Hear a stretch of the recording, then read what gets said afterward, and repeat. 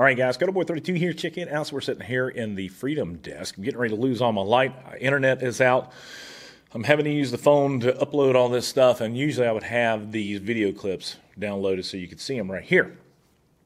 This is not the case. So yesterday there was a confirmation hearing for Merrick Garland. If you remember, he was tried to, or he was nominated by Obama to uh, the Supreme Court justice, and uh, the Senate, thank God, they decided no, we're not in the mood to go ahead and confirm anyone at this point in time. So close to the election, which they tried to play the bullshit role this time around.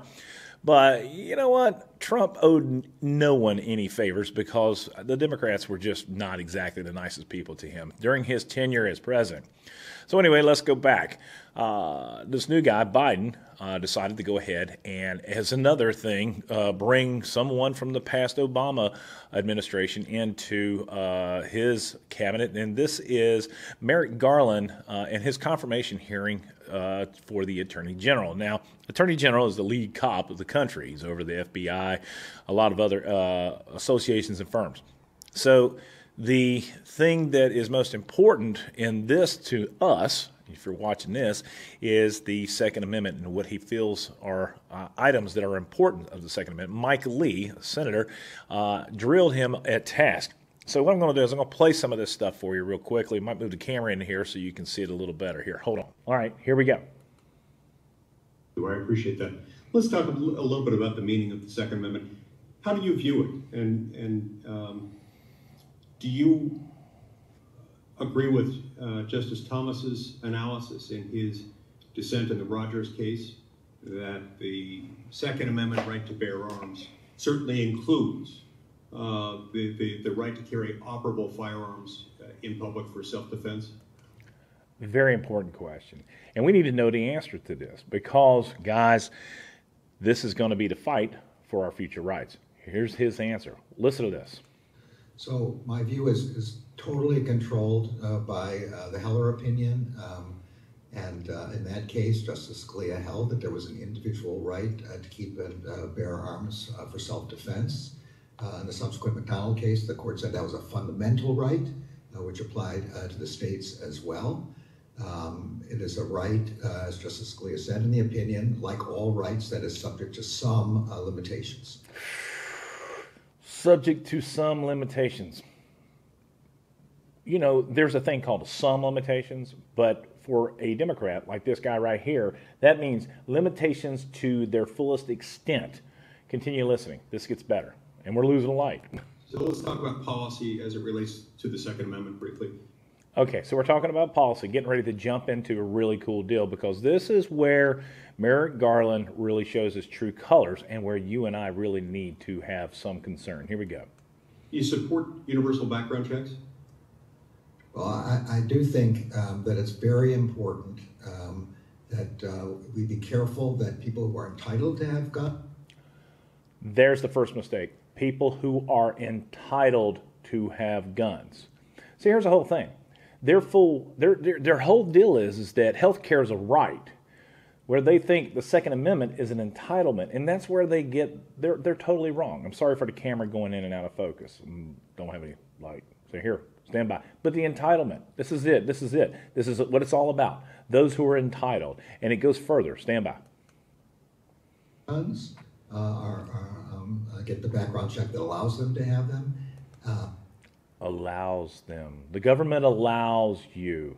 And here again is their second mistake. They are losing the whole premise for the Second Amendment that it shall not be infringed. And that those who are not entitled and uh, who are, we, are, we are concerned about because they're threats, because of felon, they're felons, or for whatever reason barred by the law, that we have uh, that there is an opportunity uh, to determine uh, that uh, they not be given a gun. Um, you, you support so, banning specific types of guns? I'm sorry. I'm sorry. Do you support banning banning of, of certain types of firearms? Well, yeah. Why not? It's part of the policy. It's all about what Joe Biden wants right now. And of course, if it's part of his policy, then there should be room in order to go ahead and do that. Hold on, watch. As I'm, I'm sure you know, uh, the president um, is a strong supporter of gun control and has been an advocate uh, all of his life. Uh, That's because he's been surrounded by people who have firearms who are there to protect him. Jackass has never been anywhere in his entire life, and he's probably never held anything actually a, like a real firearm. Not skeet shooting, Joe, the real deal. uh, professional life on this question.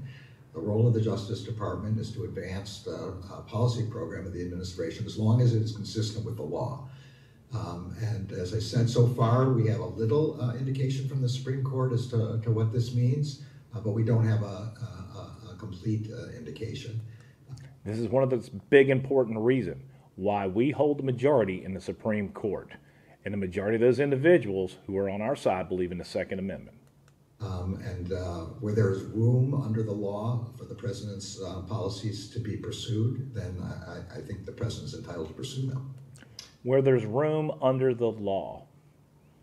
Well, if you keep changing the law, there's always going to be room. But there's one thing that you cannot change, and that is our Second Amendment and our Bill of Rights. Unless it's something that's just so important to you. Let's continue. What about policies that would uh, support holding firearms manufacturers liable for damage caused by people using firearms they produced uh, to commit a, a crime? This is one of my biggest things, and I, I know that if they are able to go ahead and get rid of the uh, Commerce Act, they they will put companies out of business because every lawyer in this country will jump on this opportunity. You know it's true. I don't have a, I, I, I believe that the, the president may have a position on this uh, question. I have not thought myself deeply about this. And that's it. So anyway, I'm not gonna. Well, it's getting really dark in here. Isn't it funny? So anyway, I'm not gonna uh, bore you guys with the rest of it, but I just wanted to play this for you. Let me know what your thoughts are down below, man. Merrick Garland. He is a decisively not a very 2A friendly individual. Good Lord, if we can. All right. So, anyway, with that being said, guys, if you like the video, please give it a thumbs up. Subscribe if you haven't already done so. Support the red, white, and blue. God bless America. God bless those men, women in uniform who support our Constitution and our Bill of Rights as it was written by our founding fathers and not interpreted by somebody like this. Because if he had his way, we'd be using, oh, I don't know, slingshots. Let's go to Boy 32. I'm out of here. Y'all be good.